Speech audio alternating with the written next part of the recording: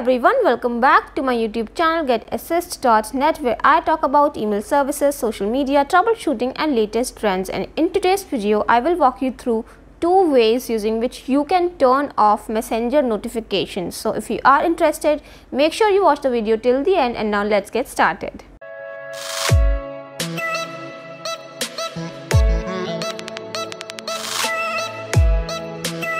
Alright, so if you want to turn off messenger notifications, you get two options to do that. So the messenger app itself has some inbuilt options that you can use to turn off the messenger notifications. So I will show you how you can do that first. For that, just open the messenger app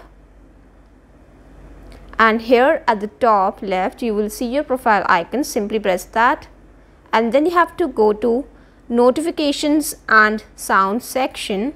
Here you can see the uh, currently you can see that it is on for my device.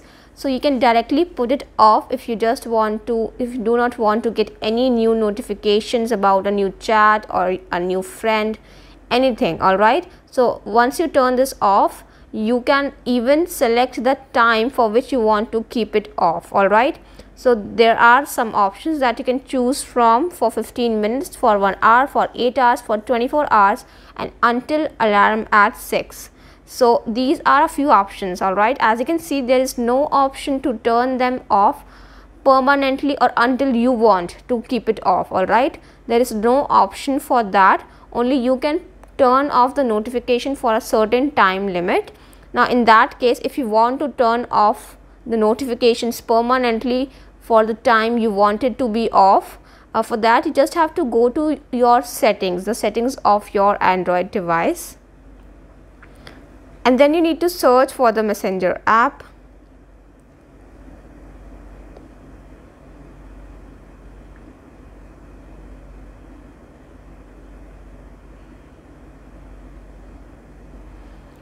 once you have opened the messenger app in the apps section on set on in settings of your device you need to go to this section that says notifications. As you can see currently it is allowed.